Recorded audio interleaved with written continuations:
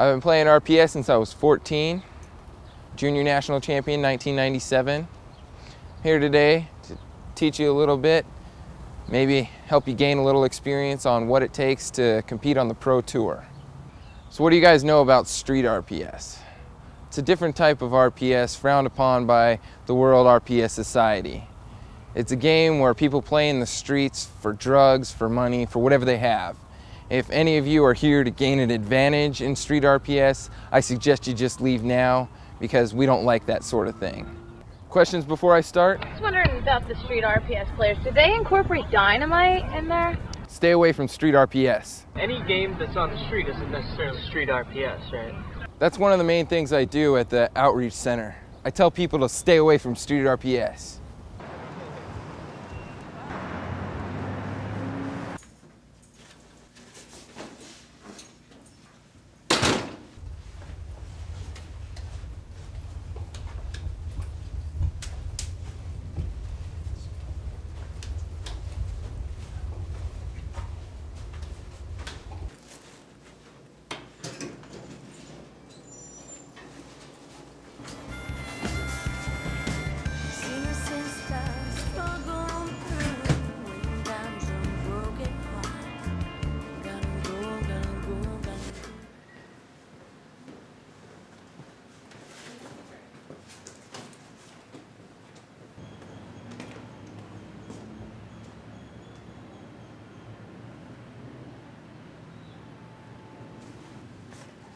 Oh, I'm sorry. Go right ahead. Thanks. So, uh, what brings you to Arizona? I'm here on business. How about you? You may think it's kind of funny, but uh, I'm here for the Rock, Paper, Scissors Championship. Really? I've only been playing for a few months now, but uh, some of these guys have been playing since they were five. So, how did you get into professional RPS? Well,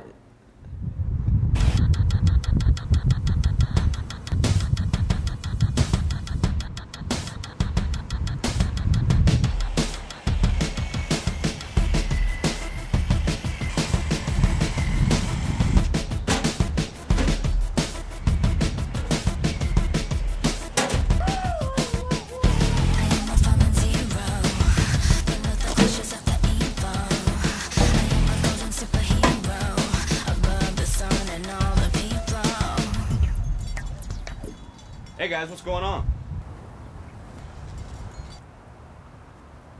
what are you guys doing? No, Nothing. no. Well, it was good talking to you. You have a good day now.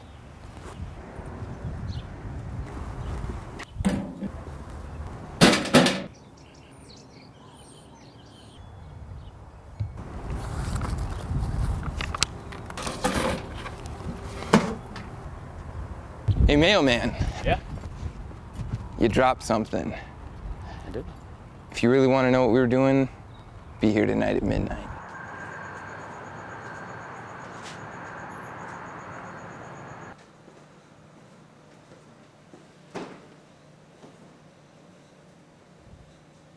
I'm sorry, the bar's closed. He's with me. Hey, glad you could make it tonight. Yeah, It's good to be here. What do you know about RPS? RPS? Rock, paper, scissors? Like on a playground? Compared to what you'll see tonight, Playground RPS is child's play. There's a lot more to RPS than just throwing out one of the signs. It takes a lot of determination and hard work. You're kidding, right? For rock, paper, scissors? Hey, if you want to treat RPS like some kind of joke, you're never going to amount to anything. Competition RPS is a serious sport. Only a few have what it takes to actually make it. Who's that? That's Rocco. He's a local badass around here. He only plays street RPS though, mostly for money, girls, magic cards. He won't play competitively. He only plays street RPS. Stay away from street RPS. Wait, weren't you playing on the street earlier today? That was on my driveway. That's completely different. Evidently, playing a pickup game of RPS outside of designated areas is a big no-no. Make it sound like you're breaking some kind of law or something. Yeah, I don't see what the big deal is either. Well, Rocco was on his way to becoming a champion and he threw it all away on one lousy game of street RPS.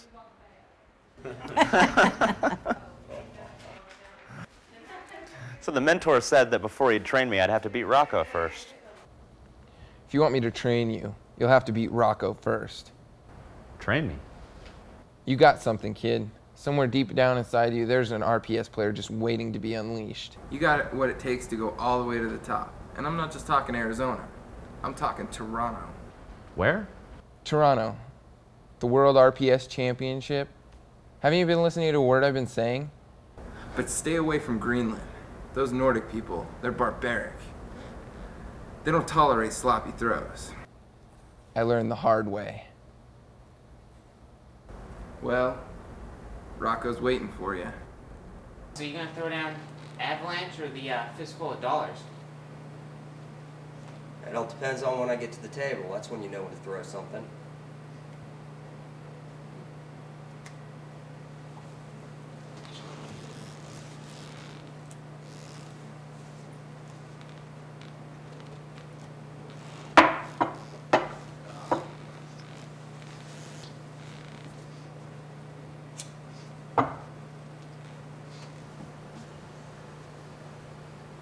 You want a piece of the rock?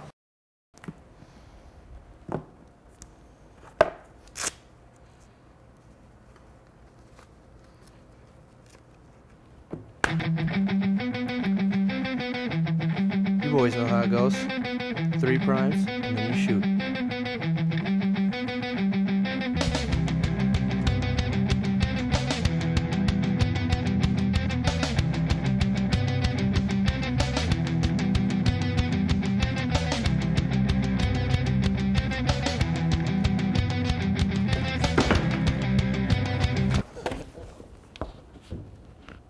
It seems Rocco's nothing but a pebble. Just like that, huh?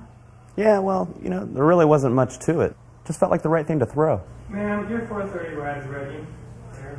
Well, looks like my ride's here. It's nice talking to you. Good luck today. It was nice talking to you too. Have fun with your business or while on your business.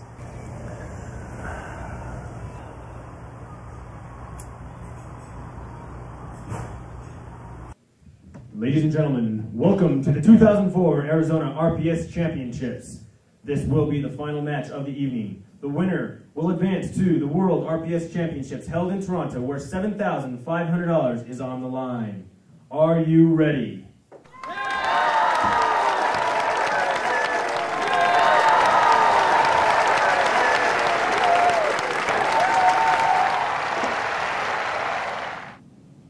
Sicilian reasoning has a lot to do with it when you're involved in a game with certain people. Has a lot to do with how much they know about you and how much you know about them. So if they know that you're opt to lead with rock, then they're going to throw paper. And if you know that they know that you're going to throw rock and they're going to throw paper, then you can throw scissors. But then there's the other thing where they know that you know that they know that you know, and then you just got to play by ear.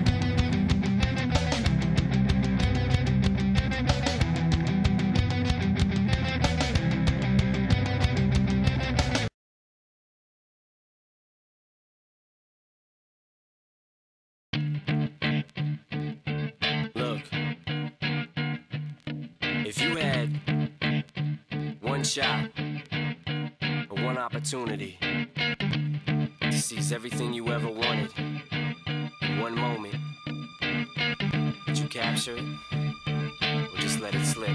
Yo. His palms are sweaty, knees weak, arms are heavy. There's vomit on his sweater already. Mom's spaghetti, he's nervous, but on the surface he looks calm and ready to drop bombs. But he keeps on forgetting what he wrote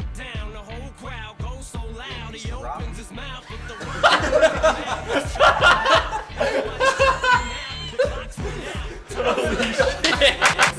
What? Go for one right Let's there. go. What?